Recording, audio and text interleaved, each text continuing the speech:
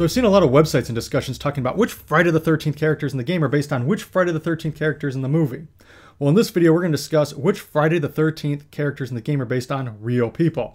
Yes, because in the Kickstarter for Friday the 13th, the game, there was a $10,000 pledge which states, Become a camp counselor in the game, adults only. We will recreate you as an 80s style camp counselor, and you will get to work with the devs, developers, to select their class archetype and define your character stats.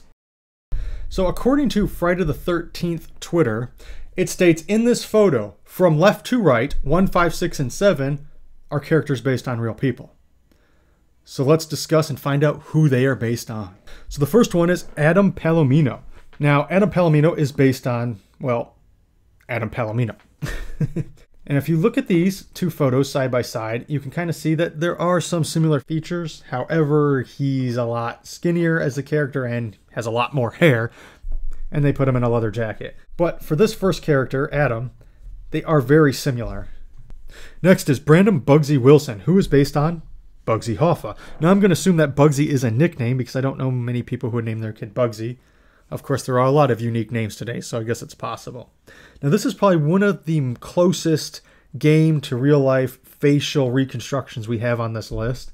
I mean, if I take this face right here, crop it, and throw it on this body, he looks pretty damn close to Brandon Wilson.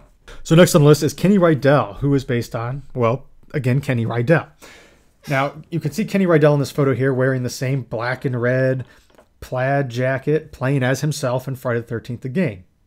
Which I don't know if it's weird or cool. I guess if I paid $10,000 to create myself in a video game, I sure as hell would be playing as myself. And the last one on our list might also be the most shocking Eric LaChappa. Yes, that's right. There is a real life Eric LaChappa out there in the real world running around right now as you watch this video.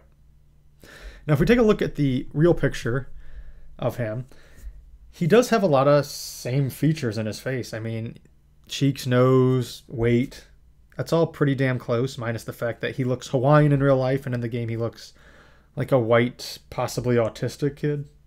I mean, that's what I see. But other than that, it's pretty damn close. So for me, the most shocking one to find out was that Eric LaChappa was based on a real person. Just think there's a real Eric LaChappa running around out there, jumping through windows and running out of stamina fast as hell. I'm sure that's not what he's doing. But I'm kind of curious. Let me know down in the comment section below. Which one of the four was the most shocking for you to find out was based on a real person? Also, if you haven't hit that subscribe button, and don't forget to hit that notification bell because if you don't, you will be notified of great videos such as this one. Don't forget to follow us on Facebook, Twitter, Instagram, and all that other great shit. And as always, I'll see you next time.